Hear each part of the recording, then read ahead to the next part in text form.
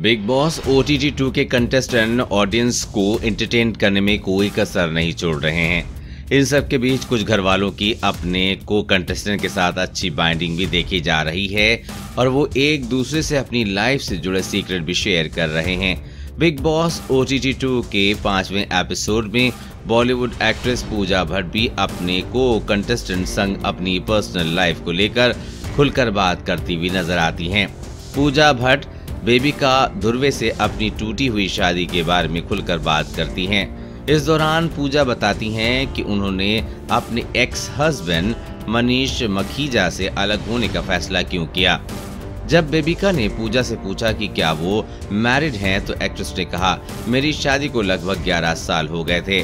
फिर हमने तय किया कि कुछ ठीक नहीं है तो झूठ बोलकर क्यों जीना? ये कोई ड्रेस रिहर्सल नहीं था।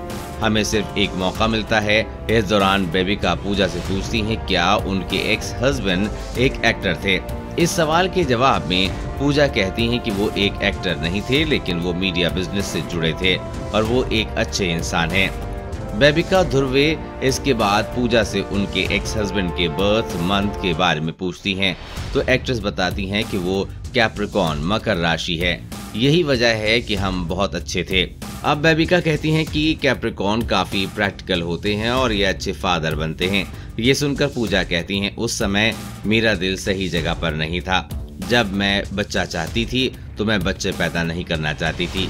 और मुझे बच्चे बहुत पसंद हैं, लेकिन फिर मैं बच्चे पैदा नहीं करना चाहती थी और मैं झूठ नहीं बोल सकती थी।